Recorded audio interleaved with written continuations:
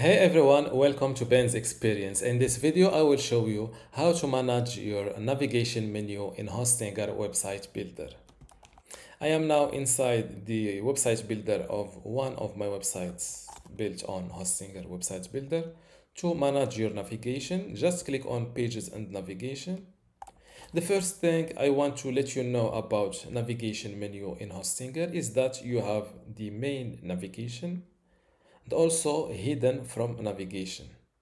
Now, if you want to hide any page from your navigation menu, just drag and move it here and it will be automatically hidden from the navigation menu. Now, to release it back or to make it public, just draw, drag and move it to the main nav navigation. Reordering these pages in the navigation menu is also simple. Just drag and move your let's say I want the home page to be the latest page drag and move it in the last in the last place in this list. As you can see it is updated automatically. Let's say that you want this blog to be under home with a drop down menu style.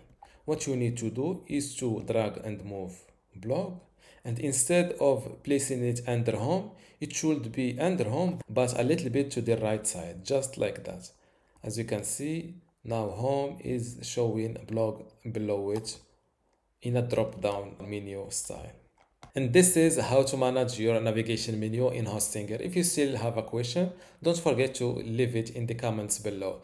Before you go, I have something special for you. I have two free online video courses for you. The first one is about Hostinger hosting and WordPress managing and the second one shows you how to use Hostinger website builder to make basic websites or online shops. You can get them both for free just by clicking the link in the description. If you like this video, give it a thumbs up and subscribe. If you have any question, leave a comment below.